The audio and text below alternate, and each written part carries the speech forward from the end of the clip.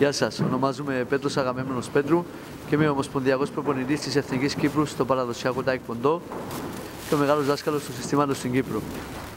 Η Κυπριακή Ομοσπονδία Παραδοσιακού Τάε Κβον Ντο είναι εγγεγραμμένο μέλος στον Κυπριακό Οργανισμό Αθλητισμού και μέλος της Παγκόσμιας Ομοσπονδίας Τάε Κβον Ντο με έδρα την Κορέα, η οποία πιστοποιεί τα διπλώματα που εκδίδουμε και δίνουμε σαν Ομοσπονδία στους μαθητές μου.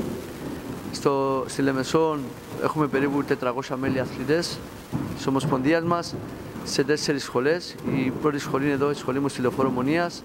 Η δεύτερη σχολή της Ομοσπονδίας στον ύψονα του Βάσου Παναγή. Τρίτη ομοσπονδία στον Άγιο, σχολή Ομοσπονδίας στον Άγιο Νικόλαο και τέταρτη στο Πισούρι του Ανδρέα του Σπανού. Το που βλέπουμε σήμερα είναι η προπόνηση της εθνικής ομάδας. Προετοιμαζόμαστε για τη 15 με 19 Φεβρουαρίου θα πάμε στη Γερμανία, θα αγωνιστούμε εθνική γερμανική ομάδα. 15 με 19 Φεβρουαρίου θα επισκεφτούμε τη Γερμανία, όπου θα αγωνιστούμε. Η Κυπριακή Αποστολή θα αποτελείται από 21 ενήλικες και φύγου αθλητές της Ομοσπονδίας, οι οποίοι θα αγωνιστούμε αντίστοιχη γερμανική ομάδα σε μονομαχίες, σε αγώνες πασίματο και αγώνες τεχνικής, αγώνες ε, χιόγκ. Η επιλογή των αθλητών γίνεται από μια διαδικασία προπονήσεων, οι οποίες είναι κάθε Παρασκευή, Σάββατο και Κυριακή.